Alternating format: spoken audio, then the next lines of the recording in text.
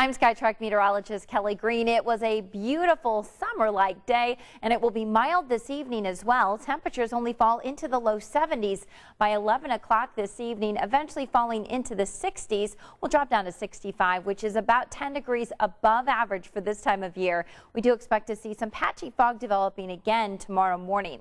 During the day tomorrow, we'll see another warm summer-like day. Few clouds around, and if you are heading to the Colts game, we will see a warm afternoon with temperatures climbing into the low 80s, perhaps some mid 80s out there as well with a mix of sun and clouds. We are tracking a cold front that will push through Sunday evening and that will bring us a chance of a few scattered showers and it becomes more likely as we head into Monday morning. So we'll keep a chance of showers Sunday night becoming likely early Monday morning. More fall-like weather returns for the rest of the week with temperatures in the 70s.